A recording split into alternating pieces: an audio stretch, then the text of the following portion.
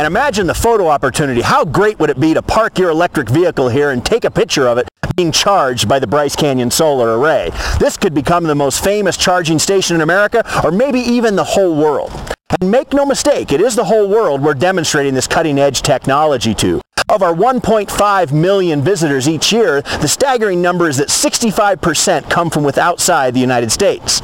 So these big trackers will serve as a mammoth testament to the commitment of the National Park Service in fighting global climate change which, as our director, John Jarvis, likes to remind us, is the single greatest threat to the integrity of the national parks that we have ever faced. Ever faced. And this is coming from a guy who knows more about the history of the national parks than even Ken Burns.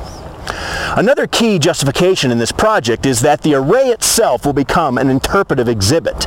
And to that end, we've already had a little bit of time to field test some temporary signage that we can now replace as permanent wayside exhibits, and this will include an interactive electronic kiosk in the Bryce Canyon Visitor Center.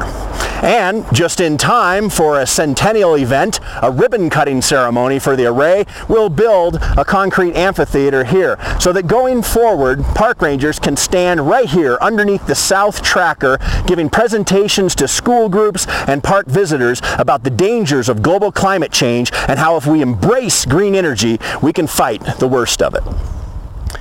So why would the National Park Service, an agency who prides itself in the protection of every single square foot of land it owns, be okay with this kind of electricity generation? Well, the answer is quite obvious. As you can see, we're only using just a very small portion of ground. Where the pedestal comes down into a concrete foundation, that's only about nine square feet of ground being utilized. Everything else is up in the air. And unlike most solar arrays, this one, because it's constantly tracking the sun, doesn't produce permanent shade. We're also not going to put down a bunch of gravel or herbicides to prevent vegetation from growing.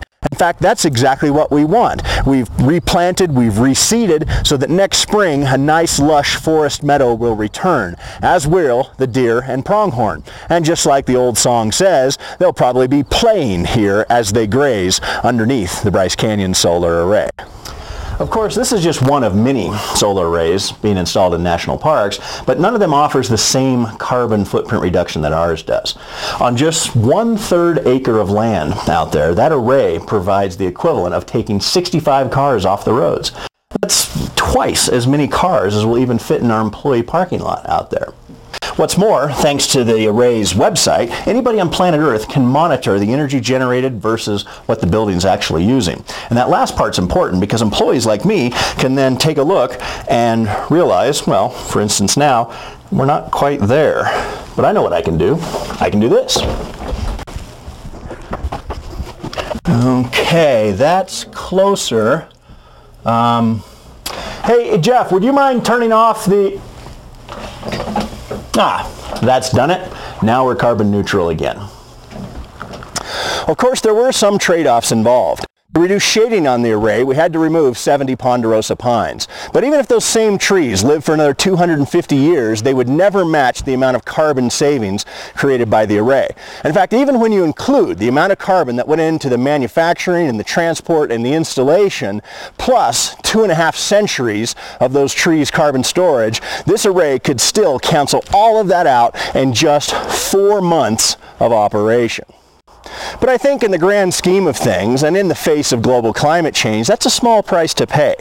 Because it's become increasingly apparent that if we're going to save the national parks from the ravages of global climate change, we're also going to have to inspire the rest of our fellow earthlings to help us save the entire planet at the same time. That, well, it's not going to be easy. It's not nearly as impossible as some would have you believe. Oh, I can see now that the sun's fully up, so I guess it's time for the three of us to go back to work, meet in my office, and these two dual axis trackers to keep tracking the sun.